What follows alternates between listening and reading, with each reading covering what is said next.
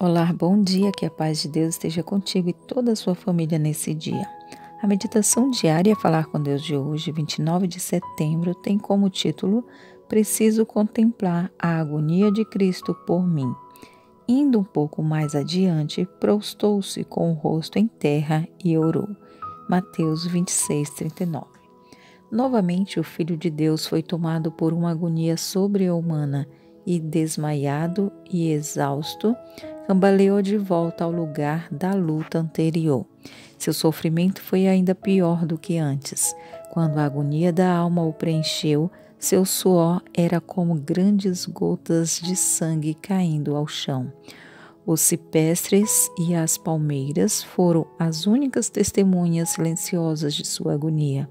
Dos galhos frondosos caía pesado orvalho sobre sua silhueta ferida, como se a natureza chorasse sobre seu autor, que lutava sozinho contra os poderes das trevas.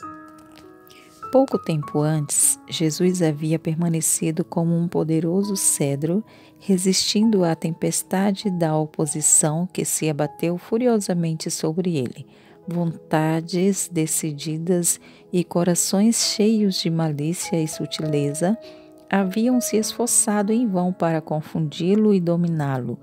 Ele se destacava em majestade divina como filho de Deus, mas agora era como uma cana açoitada e vergada pela tempestade furiosa.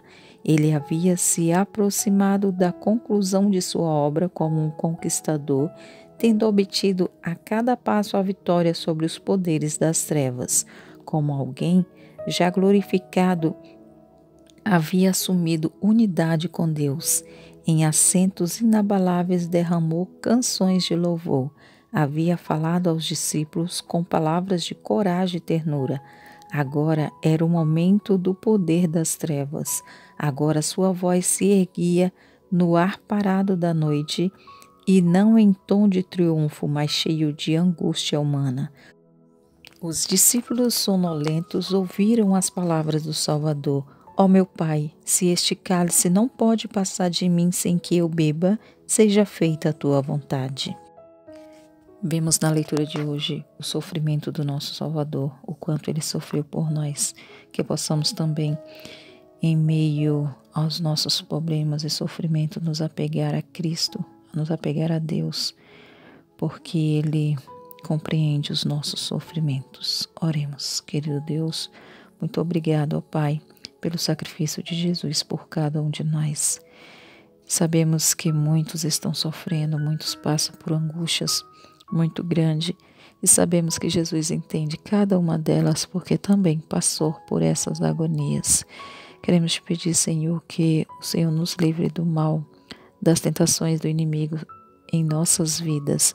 Nos dê a força que precisamos vinda de Ti para que possamos, em meio às provas, sairmos vitoriosos. Em nome de Jesus. Amém.